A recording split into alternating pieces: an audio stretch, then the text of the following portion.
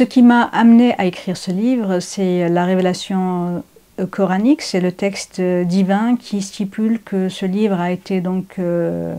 révélé euh, aussi bien pour les êtres humains que pour les djinns, c'est-à-dire al-alamin.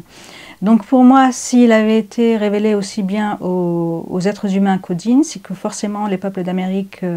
avaient également leur part.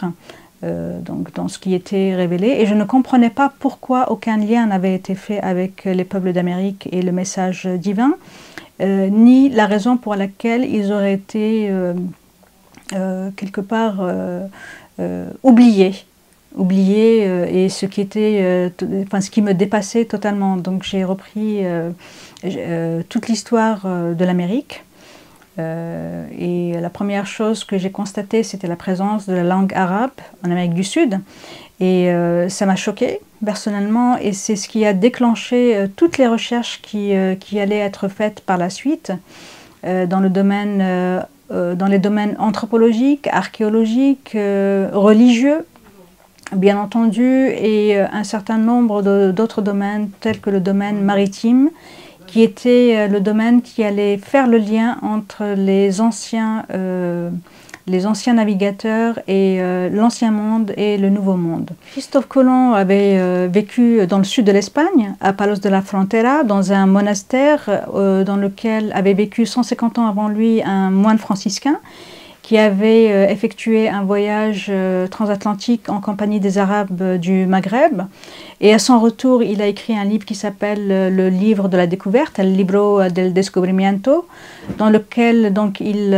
donne un certain nombre d'informations et il cite toutes les îles qu'il a visitées avec donc, les navigateurs arabes. Et donc ce, livre ne pouvait tout simplement pas ne pas être connu de Christophe Colomb, ainsi que les cartographies euh, qui étaient euh, donc euh, en Espagne au moment de la chute de, Grenade. Et il a, pris, en il a pris en main tout, tout, ce, tout, ce, patrimoine arabo-musulman dans le domaine maritime, sachant que les connaissances maritimes des Espagnols et des Portugais étaient des connaissances arabo-musulmanes, comme l'ont souligné un certain nombre de, de spécialistes anglo-saxons.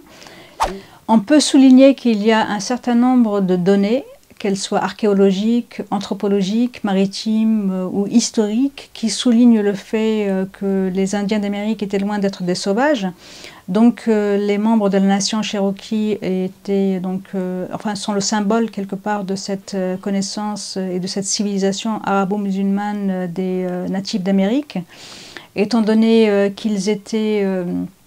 donc des musulmans, qu'ils priaient à la manière des musulmans, qu'ils avaient même euh, euh, reconstitué un lieu dans l'Indiana afin de pouvoir faire le Hajj, le, pèlerinage à la Mecque. Et euh, l'homme qui a écrit un article à ce sujet en 2004 est le docteur Robert Dixon Crane, qui est un ancien ambassadeur des États-Unis aux Émirats arabes unis, mais qui est également l'un des anciens conseillers aux affaires étrangères de Richard Nixon et porte-parole auprès euh, de la Maison-Blanche. Donc il a écrit un, article en 2004 où il souligne le fait que lorsque les Indiens étaient, Cherokee étaient vus en train d'accomplir la prière, ils étaient euh, donc emprisonnés et euh, qu'il y a eu par la suite un, un génocide qui, qui, avait été mis en place pour se débarrasser d'eux et en même temps prendre possession de leur, de leur terre. Il y a une partie euh, donc, euh, qui a réussi à atteindre euh, donc, le Midwest, enfin l'Oklahoma, une autre partie qui a réussi à fuir, et une, ainsi, et, une dernière donc, qui est morte en cours de route parce que leur génocide programmé avait été, avait été fait en plein hiver. le blizzard américain est connu comme étant un, enfin, enfin, très très rude et une saison extrêmement difficile à surmonter lorsqu'on est sur la route. Donc euh, parmi euh, euh, les, ancêtres qui ont réussi à survivre, qui ont réussi à fuir, il y a Joseph Franklin Beaver qui était donc son grand-oncle et qui a fait partie de ceux qui se sont battus pour essayer de, préserver la religion musulmane en Amérique, mais également pour la liberté de culte. Donc Joseph Franklin Beaver a essayé de, s'adresser à plusieurs chefs de différentes euh, nations amérindiennes pour, euh, pour qu'ils essayent de travailler ensemble à cela. malheureusement, certains avaient déposé les armes et d'autres avaient essayé, mais le gouvernement américain à l'époque avait fait en sorte de, déclarer euh, la religion euh, cherokee comme, comme, étant subversive. En quoi était-elle subversive, étant donné qu'elle est monothéiste et qu'il prétendait même qu'elle avait été euh, apportée par la, la tribu d'Israël qui avait disparu? Au bout d'un certain nombre d'années, j'ai écrit cet ouvrage qui s'appelle L'identité arabo-islamique de peuples et tribus indiennes d'Amérique, dans lequel je donne